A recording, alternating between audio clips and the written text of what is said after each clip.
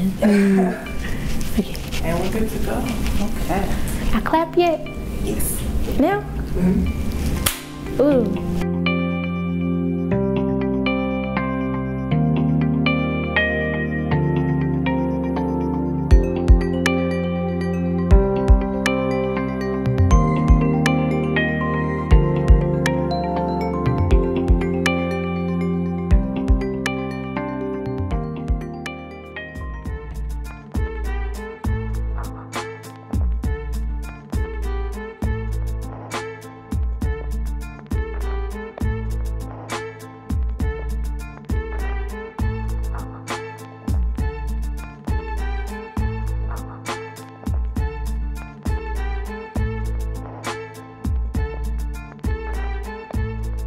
I was a good student. Everybody liked me because I was always happy and I always made everybody laugh. I left Gage Park my sophomore year. I moved to Louisiana because my granddaddy was sick.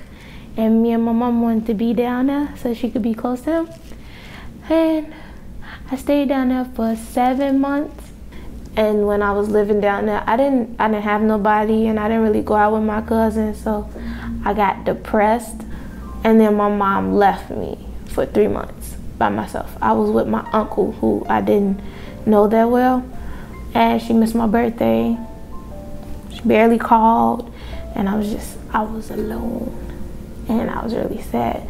And then she came back, but it was it was just like a you here now, but you wasn't here the whole time when I was sad and I didn't have nobody. Zari says that they went to Louisiana like on a vacation to visit family. And these were people that she didn't know. She like maybe met them once or twice, but she had no relationship with the, these particular family members.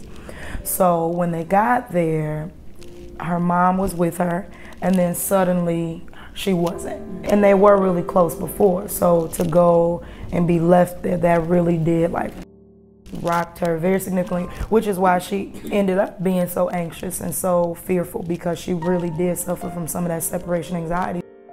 It was sophomore year when I came back.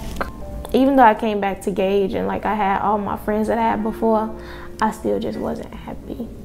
And then my cousin passed away and it was really, really hard. Zari was one of 38 students on my caseload. Zari is probably the student I saw the most during the course of the school year. She really began to take ownership of herself as a student and saw saw the fact that she could really excel. So we spent a lot of time like going through grades and figuring it out. So that that was one of our greatest areas of growth. At the core of what we do, we want to make sure that our students don't drop out. So um, that's the starting place, but that can be very different from student to student. Zari needed accountability, but she also needed a listening ear. Zari also needed to understand how her thoughts were affecting the way that she behaved. Zari needed to understand that she can be resourced by having this program in her classroom. I grew up so much and I learned so much and I overcame so many things. I know that communities in schools of Chicago helps people in need, like me.